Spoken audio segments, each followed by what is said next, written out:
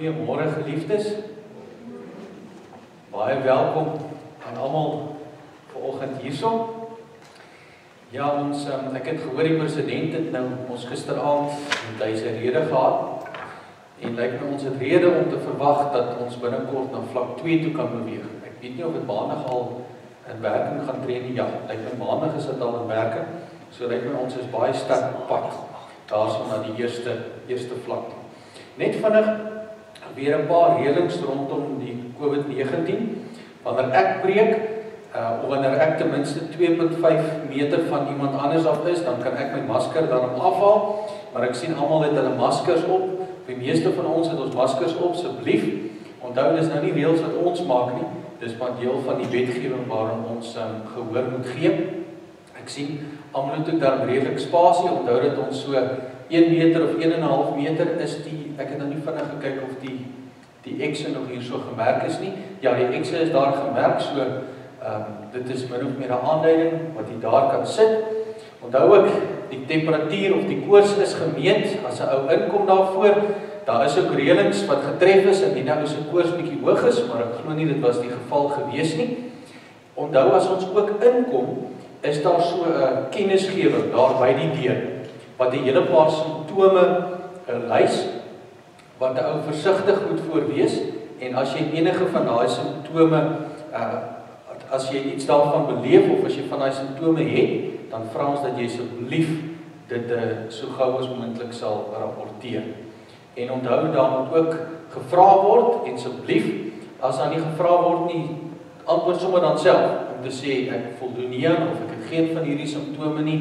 Ek is reg, ek is nie aan iemand blootgestel wat uh onlangs um, ook met die uh virus ek wil amper nou sê besmet is nie. Goed. En onthou die hele tyd om ons hande skoon te hou. Dit is nou al wat ons praktiese reëlings hier by die erediens aanbetref. Onthou maar die afstand te behou ook as ons hier uitbeweeg. Dis verskriklik onnatuurlik, maar uh ons maak die beste van hierdie saak. En ons glo dat uh binnekort gaan ons ook op 'n nuwe en ander soortige manier mekaar kan bedien. Geliefdes, die wonderlike is wanneer ons hier by mekaar is, dan is ons hier in die teenwoordigheid van die Almagtige. En dit maak nie saak wat ons lewensomstandighede is of die situasie waarin ons op die oomblik sit nie. Ons weet God is nog steeds in beheer. Ek dink altyd aan daai gedeelte, daai vers in Romeine, ek dink is Romeine hoofstuk 6, Romeine hoofstuk 8 waar Paulus sê God sal alles ten goeie laat meewerk vir die wat hom liefhet, die wat volgens sy besluit geroep is. En dan besef ek net weer eens, maar dit is waar. Dit kan lyk asof dinge hopeloos is. Dit kan lyk asof daar geen antwoord is, asof daar geen salf meer aan die wonde te smeer is nie. Maar God is altyd getrou. En hy kan enige situasie gebruik sodat ons ook daardeur kan besef, maar hy sorg nog steeds vir ons en hy is nog steeds in beheer. Met dit dat ons uh, ook nie altyd lekker kan saam sing nie want ons moet die maskers ook die hele tyd aan hê, het ek nou gewonder hoe kan ons dalk miskien op 'n nuwe manier bietjie deel wees van die gemeenskap van gelowiges. Nou ek uh, kom ek hou maar net my masker so, ek het vir Wimpie gevra hy moet asseblief vorentoe kom en ek gaan hom nou groet. Nou die COVID groet is mos twee maniere. Jy kan of so groet, Grey College ouens groet mos so So jy kan of so groet of jy kan so groet vir oggend en ken almal die speletjie wat ons gespeel het toe ons klein was, telefoontjie.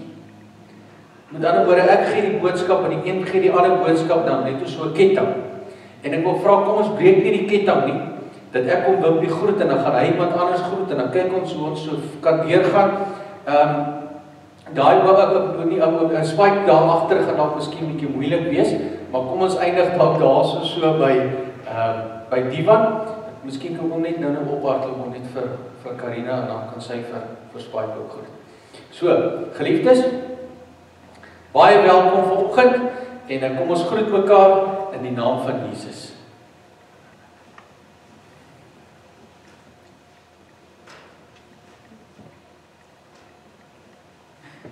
Tannie Goedie tannie moet nou aanstuur. Moenie vir tannie daar sy. Daar sy kyk hoe vinnig kyk hoe vinnig steek ons aan. Kyk, hierdie is nou een van daai goed wat ons lekker mag aansteek. Want ons steek mekaar aan met die liefde van Jesus en uh, dit is nog steeds binne die wet wat ons bly, uh, wat ons mekaar nog steeds so kan groet. Geliefdes, uh, terwyl ons nou so klaarmaak en elkeen nog so besig is om 'n laaste groet te ontvang, wil ek vra net so daar waar ons sit, daar waar jy rustig is, hierdie diens wat ook nou om 6uur vanaand uh, gaan uitgesaai word vir diegene wat nie vanoggend se diens kan bywoon nie. Onthou ook kwart oor 10 is dit die inrydiens wat ook geadverteer is waar dit dieselfde boodskap gaan wees, maar ons kan nou ongelukkig nie sing nie, maar jy kan rustig in jou kar sit, jy skakel by 'n uh, eh, radiofrekwensie in en met 'n ou lekker kan saam deelneem aan daardie diens. Maar kom ons maak onsself gereed En ons maak ons harte gereed sodat ons werklik waar kan inneem wat die Here vir ons wil sê. En ons raak vir so 'n paar oomblikke stil terwyl ek vir ons 'n gebed doen. Daarna gaan ons die seëngroet ontvang en in antwoord op die seëngroet wat ons sê dis wonderlik om te weet die Here is hier. Dan sing ons daardie lied, twee verse. God is hier teenwoordig. Kom ons bid saam. Here baie dankie dat ons kan weet dat U die koning is van ons lewe. Here Jesus, in U en deur U en tot U is alle dinge tot in alle ewigheid. Dankie almagtige God dat ons kan bid en vra.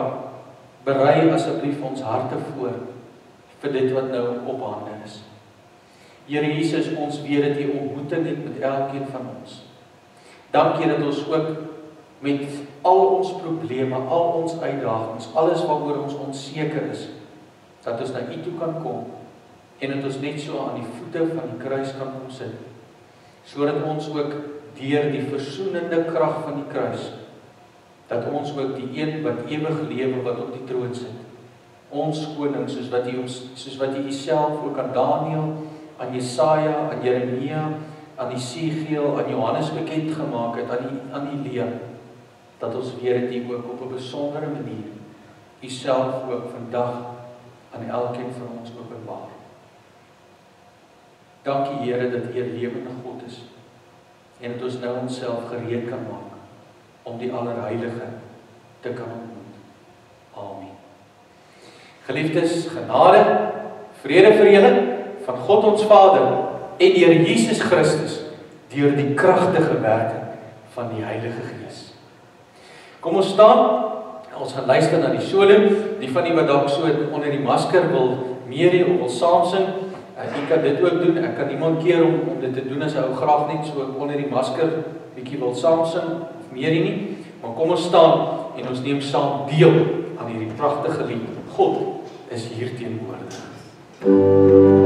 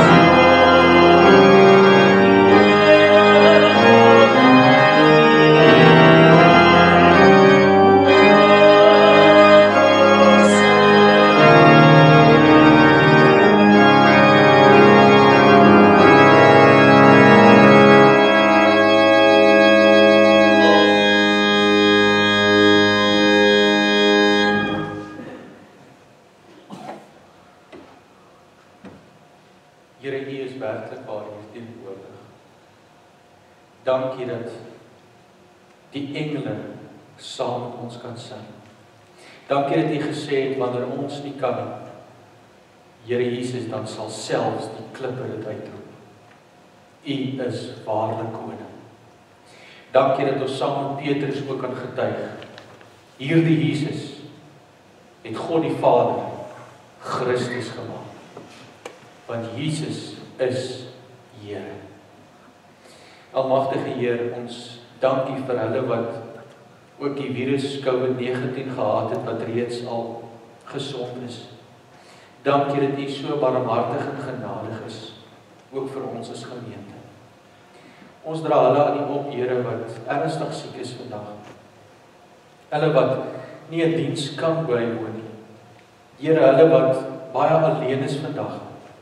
Die mense waarvan ons ook weet ons bejaardes wat ook ingeperk is wat hulle glad nie kan uitbeweeg nie. Almagtige Here, dankie dat ons weet dat U die hande van liefde strek soos wat U Uself aan Paulus op 'n wonderbaarlike manier bekend gemaak het. So is U teenwoordig in elkeen van ons se lewe. Dankie Here Jesus dat ons kan weet dat U ons geweldig liefhet. En dat ons ook nou hier waar ons by U kan kom sit dat ons al ons seer, al ons hartseer, al ons bekommernisse nou net na U toe kan bring. Here, dankie dat ons nou net na U toe kan kom en sê, Here, ek weet nie. Maar U weet. Ek gee myself nou totaal en al in die hande oor. Maak my ook nou gereed, Here, vir dit wat besig is om nou te kom. Daar's nou geleentheid vir stil gebed.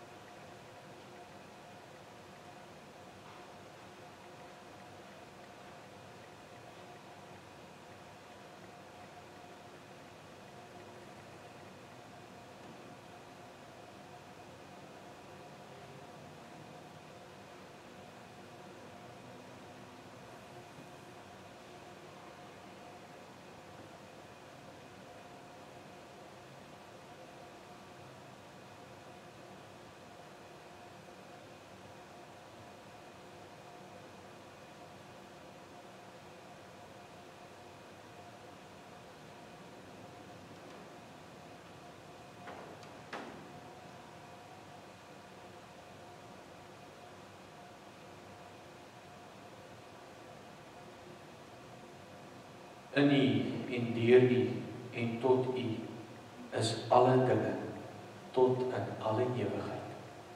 Amen. Geliefdes, ons gaan nou nog 'n lied sing na die oordenkingsgebed. En hierdie is ook 'n pragtige lied waarna ons eindig die gebed en onsself gereed maak voordat ons die skrif kan deel. Moenie ekskuus baie ek ek is nou al by die laaste gebed as by die laaste lied. Nee, ek is nou heeltemal te vinnig. Verskoon my nou daarvoor. Kom ons uh, maak ons Bybel so lank oop by Lukas hoofstuk 6.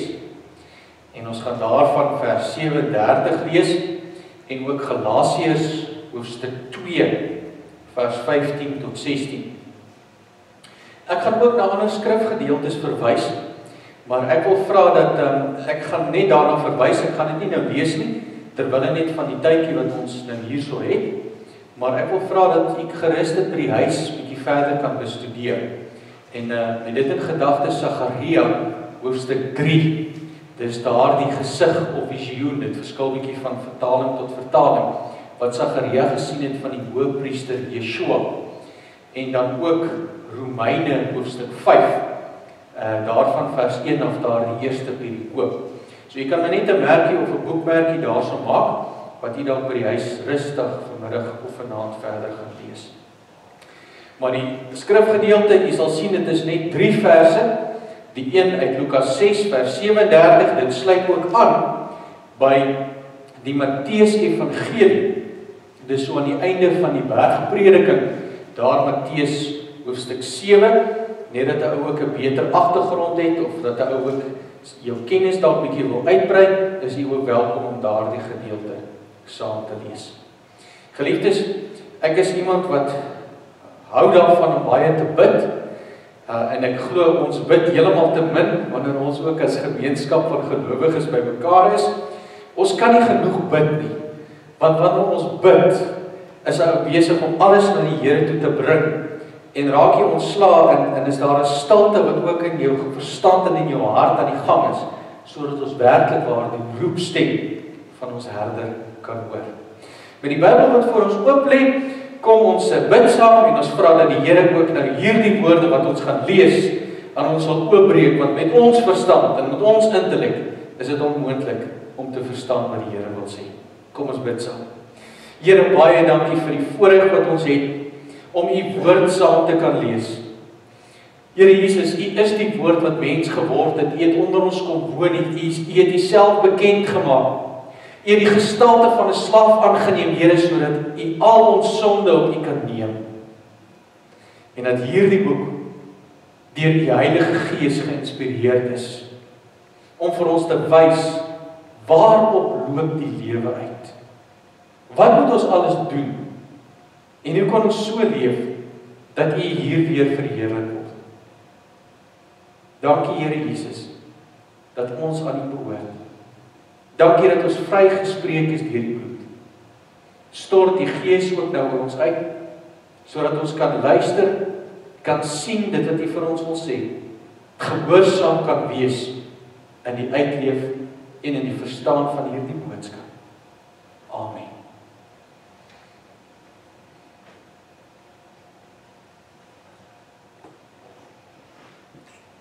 Kom ons begin lees. Matteus 7 vers 1 tot 5 is die verwysing. En hierso die opskrif wat ek het in die 83 vertaling is moenie oordeel nie.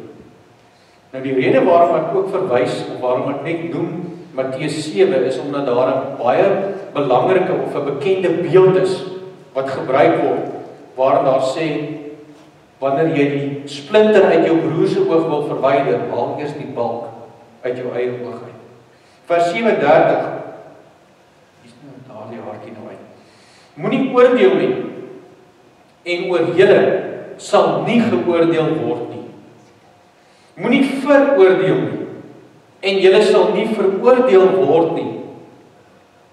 Spreek vry en julle sal vrygespreek word. Hierdie gedagte van vrygespreek. Kyk hoe kom dit twee keer voor in hierdie laaste vers. Dit word die hele tyd die negatiewe genoem, moenie moenie en dan die positiewe spreek vry en jy sal vrygespreek word. Twee frases wat gaan oor waaksaamheid en 'n derde frase wat gaan oor die uitleef van Christendom. Maar kom ons gaan dan ook bietjie verder en ons blaai hierso na 'n brief wat Paulus geskryf het vir die gemeente in Galasië. Terwille van ons tyd gaan ek nie baie fokus op die agtergrond nie, net doodgewoon om te sê Paulus het die wonderlike evangelie aan die gemeentes verkondig En dan het hy hulle ook leraars gegee, het ouderlinge bymekaar gemaak soos wat die Gees dit ook aan hulle bekend gemaak het. Maar in elkeen van hierdie dorpe was daar ook groeperinge, die Jode en die Christene wat uit die heidendom uitkom. Daar word gepraat van die Hebreësprekendes en dan word ook na ander plekke verwys dat die Grieksprekendes veral daar in Handelinge. En hierdie mense het ook hulle eie leerstellings gehad wat hulle wou inbring. En wat hulle vir die Christene wou dit verstaan, ja, hierdie Jesus, dit is belangrik dat jy hom moet aanvaar as jou verlosser, maar dis nie die enigste nie. Daar is nog 'n ander deel wat ook belangrik is. En wat is dit wat hulle gedeel het wat ons met mekaar vanoggend wil deel? Ek gaan net twee verse vir ons lees, maar dit is agtergrond. Die opskrif wat ek hier het is geregtigheid uit die geloof vers 15 Galasiërs 2 vers 15 tot 16. Ons is Jode van geboorte en nie sondaars uit die heidene nie. En tog weet ons dat 'n mens nie van sonde vrygespreek word deur die wet van Moses te onderhou nie, maar alleen deur in Jesus Christus te glo. Weereens maak vir my so 'n kringetjie of as jy 'n potlood het of dalk 'n Bybel met deurskote, maak so 'n aantekening daar by hierdie eerste gedagte nie van sonde vrygespreek word nie en dan die klem vol op die wet van Moses. En dan is daar 'n ander deel wat ook vir ons belangrik is vanoggend. Ek lees die die sinnetjie wat net hierop volg. Ook het ons tot die geloof in Christus Jesus gekom. En dit is hoe ons vrygespreek is. Daardie omkring, daardie fokus of klem op hierdie volgende vrygespreek. Wat is dit? Deur in Christus te glo en nie deur die wet te onderhou nie. Want geen mens, die word dit die derde keer genoem, word vrygespreek op grond daarvan dat hy die wet onderhou nie. Geliefdes, ek wil vir jou uitnooi om as jy die 83 vertaling het, baie ouens het die elektroniese weergawe op um, verskillende maniere en daar is ook die verskillende platforms, ek weet Android en en uh, Apple en ek dink die Windows formaat het almal dieselfde toep wat 'n mens kan aflaai en dit is die YouVersion Bybel toep of die app soos wat hulle sê in Engels wat 'n mens kan aflaai waar daar vyf verskillende Afrikaanse vertalings is, 'n hordes Engelse vertalings en ander vertalings ook. Nou die rede hoekom ek dit noem is gaan kyk bietjie in daai 53 vertaling waar hierdie gedeelte nader aan die oorspronklike vertaal word met die idiomatiese of die uitdrukkings wat ons ook het. En elke keer waar hier noem in hierdie spesifieke deel Galasiërs 2 vrygespreek word die woordjie geregverdig genoem. En terwille van vanoggend se verstaan en die deel van die boodskap wil ek hierdie twee woorde so langs mekaar sit hierdie sinonieme en ek sal verwys na vryspreek of vrygespreek en dan sal ek ook verwys na geregverdig. So onthou dan net, dit is 6 van die een en half toe sy van die ander een. Toe ek hierdie gedeelte gelees het en die Here met my pad begin stap het, is dit deel van die 5 fees wat hy besig is om aan ons bekend te maak in hierdie tydperk. Net terwille van die wat dalk nie die vorige by die vorige diens was nie of die wat dalk nie op die sosiale media platforms dit kon ehm uh, reeds gesien het nie. Ons het gesê die 5 fees bestaan uit die eerste ene wat ons laasweek gedeel het vergewe. Ons sal net kortliks daarna verwys oor die verbygang. Vandag vryspreek of vryspraak. Die derde ene verlossing En dan die vierde ene vernuwe. Dis alles Bybelse terme wat ons aantref en dan die laaste een vrede. Nou die rede hoekom ek my handpalm so gebruik is omdat die palm van ons hand kan ons ook sê dat dit die liefde van God is. Want deur God se liefde is hy besig om al hierdie vyf fees nader te trek. Wanneer daar nie liefde is nie, soos Paulus sê in 1 Korintiërs 13, kan jy maar vergeet. Want dan beteken die res absoluut niks. Toe ek hierdie gedeelte gelees het, het ek onmiddellik gedink en dis waar ek nou verwys na Sagaria, daardie hoofstuk waar hy die visioen sien van Yeshua die Hoëpriester. Want as ons die woord gebruik vryspreek of vrygespreek en dan ook die term daarmee saam geregverdig. Waaraan dink ons onmiddellik?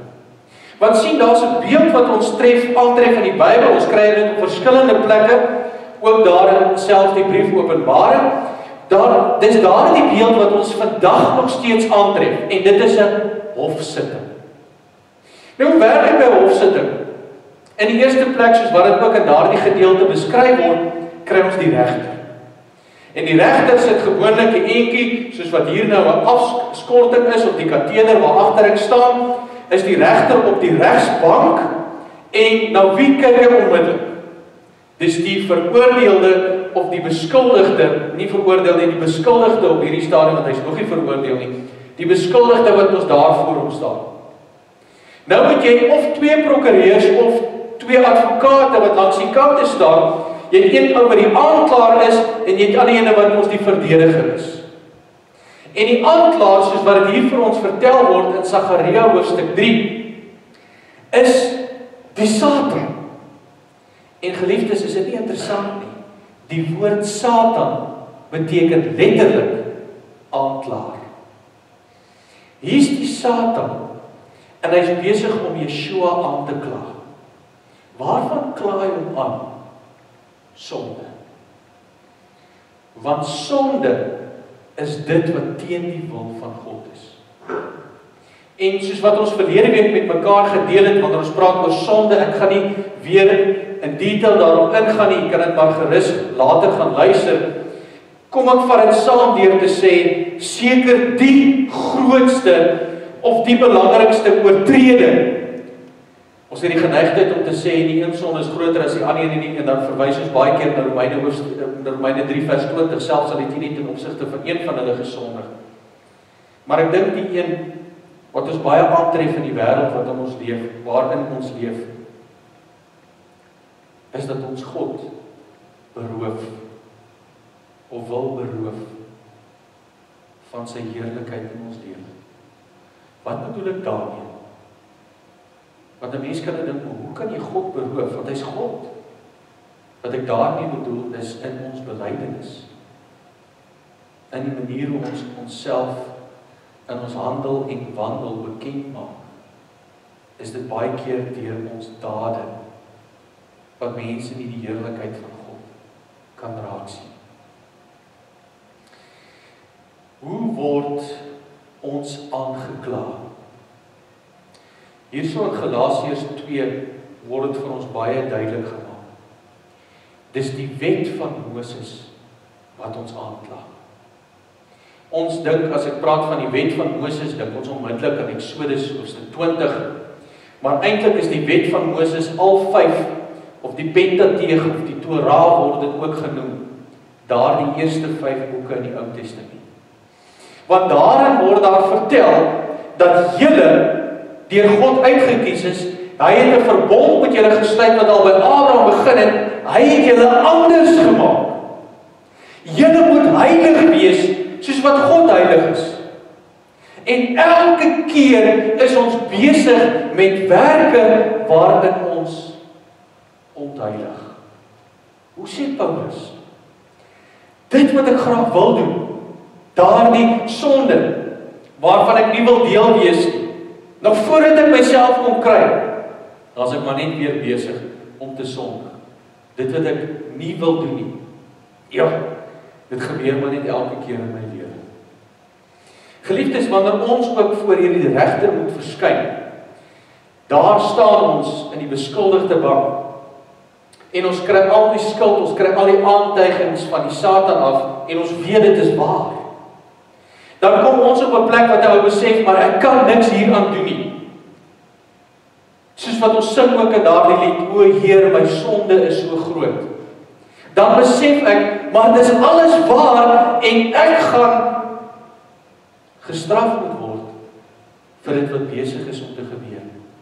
Wanneer ons baie keer hofsaake op die TV of oor die radio meeste van die tyd maar op die TV sien en ons kan sien en ons kan hoor al die beskuldigings wat ingebring word, is daar ons hierdie hierdie menslike of hierdie vlees van ons wat wil sê ja, jy verdien dit.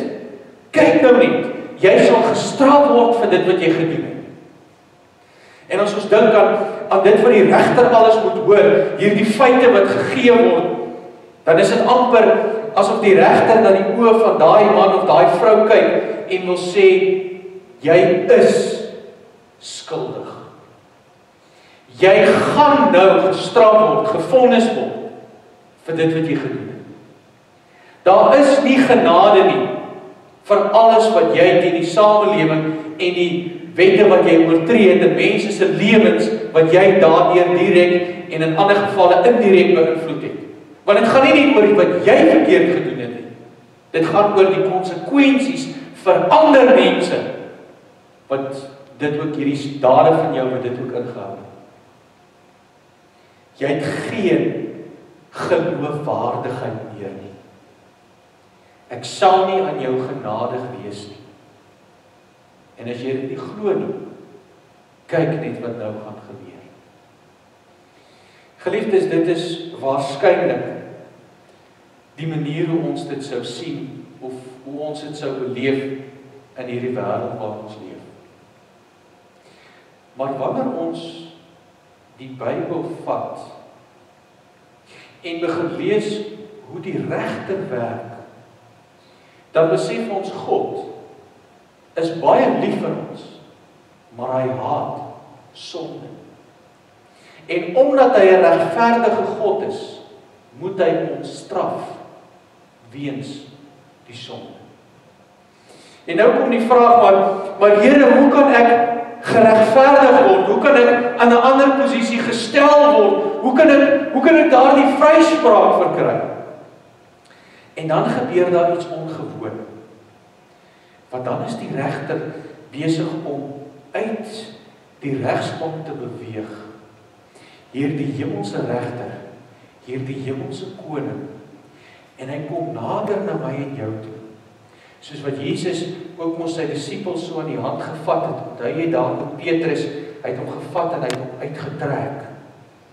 So kom die Here Jesus ook na ons toe. Soos wat die Vader gehardloop het daar in die Lukas Evangelie toe sy seun aangehardloop het na hom na hom toe daar staan toe die Vader hom sien, het hy begin hardloop na hom. Dit is hoe die Here met ons maak.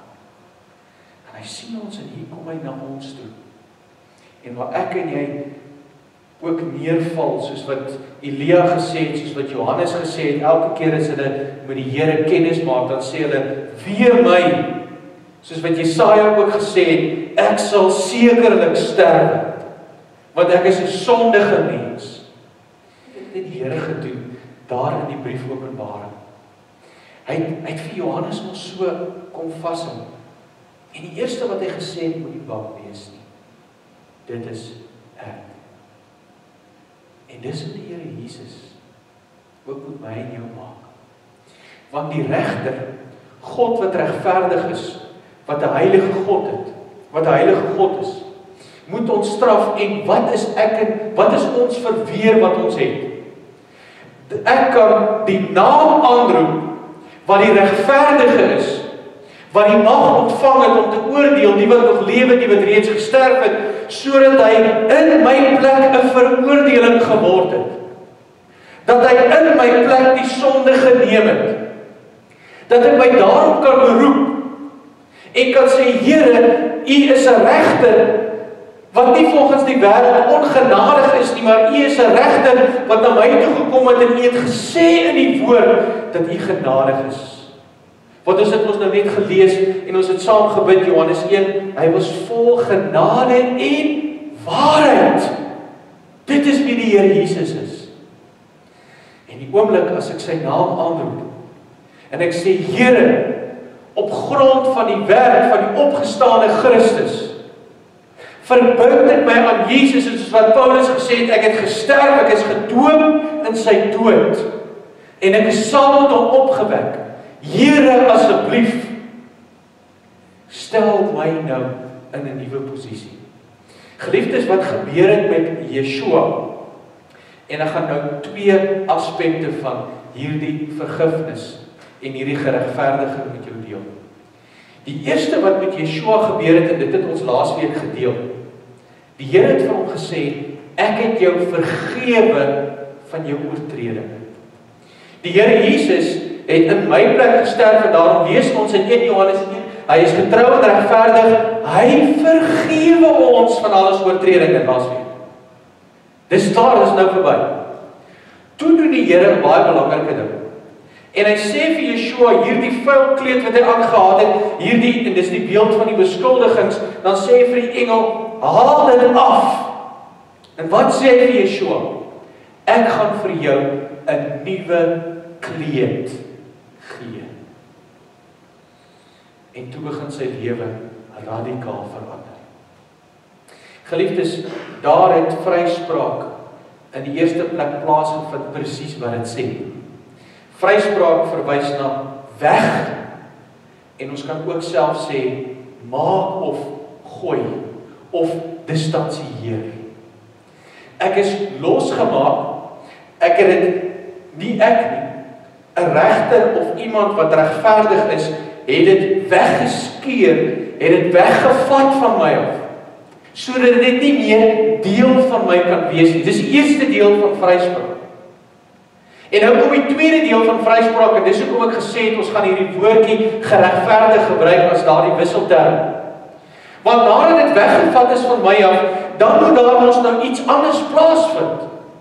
En wanneer daar iets anders plaasvind, is wanneer ek weer reggestel word, geregverdig word. Ek word weer in die regte posisie gestel.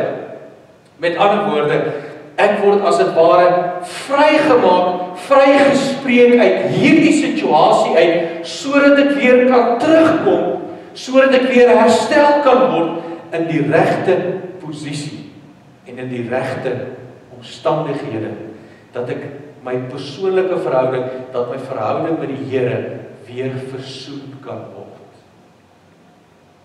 En dit is wat beteken wanneer Jesus Christus my vrygespreek, wanneer God my vryspreek op grond van sy genade deur die bloed van Jesus Christus. Nou is die regter nie meer 'n regter nie. Nou is ek wat die beskuldigde is wat vuil is van die sonde deur die verdienste van Jesus Christus ook nie meer 'n beskuldigde Nou het dinge verander. En hier is die tweede deel wat weer eens ongewoon is. Wat anders is, wat vreemd is vir die wêreld. Die regter het nou die Vader geword. Nie dat hy nie die Vader was nie, maar die manier hoe hy homself nou bekend maak aan my is die Vader. Jy's vergewe. Jy's afgewas van jou sondes. My kind, jy is hier. En nou is ek nie meer die beskuldigde nie. Nou verander my naam of my term ook of die manier hoe ek beskryf word ook verander nou na kind wees. Ek die een wat beskuldig was is vrygespreek deur die bloed van Jesus. En op grond van Johannes 1 vers 12 kan ek ook sê ek wat hom my verlosser aangeneem het, die Jesus die Yeshua, die Joshua wat Yeshua beteken letterlik verlosser. Hom wat ek aangeneem het wat my hoëpriester is wat nou in my plek gesterf het, wie se bloed nou gevloei het deur God se genade. Ek wat hom aangeneem het, het die reg omdat ek geregverdig is om te sê ek is 'n kind van God. Geliefdes, die rede hoekom ek vir jou gesê het om daardie vryspraak te onderstreep en soos wat ons dit lees in die ander vertalings geregverdig. Ons het oor daai twee kwessies losmaak van vryspraak en vasmaak in 'n nuwe posisie gesels. In hierdie proses van geregverdig of regverdig maak het daar drie stappe plaasgevind in my lewe. Eerstens het God my genadig, is God my begenadig om my te regverdig. Tweedens hoe ek geregverdig deur die bloed van sy seun Jesus Christus. En derdens ek is geregverdig want ek weet dit. En daardie woordjie is geloof. Want die Here het my die geloof geskenk om te weet om seker te wees Dit waar ek op hoop is nou reeds 'n realiteit. Ek het daarop gehoop om skoon gemaak te wees. Ek het daarop gehoop om ook in die hemel te wees by God. En ek is skoon gemaak deur sy bloed. Nou kan ek glo. Dit wat ek nie kan sien nie is nou reeds vir my sigbaar. Terwyl ons so sit, kom ons bid saam. Here, U is 'n almagtige God. Ons is vrygespreek deur die bloed van Jesus Christus. Ons is geregverdig deur genade, Here, loutere genade. Want ons kan nie voldoen aan die eise van die wet van Moses nie. En ek is vrygespreek deur geloof. Geloof in Christus Jesus, my koning, my verlosser. Dankie Here dat ek dit seker kan weet en dat dit nou tot lewensverandering in my lewe kan wees. Sodat soos wat my dade ander negatief beïnvloed het, nou kan my dade my goeie werke vanuit geloof in Jesus ook nou ander mense ten goeie beïnvloed. Amen.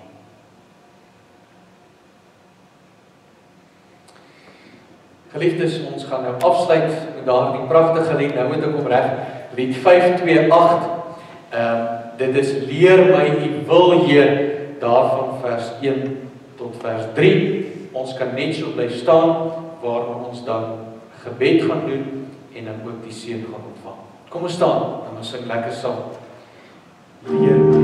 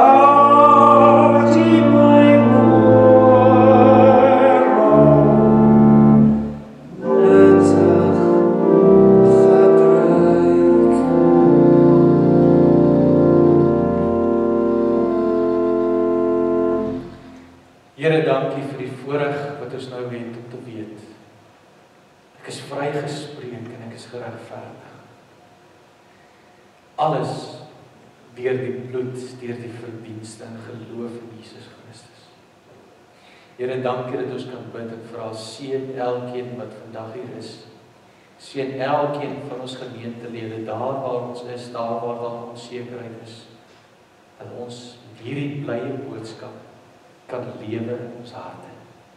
Amen. Geliefdes, ontvang die seën. Die Here sal jou seën en jou beskerm.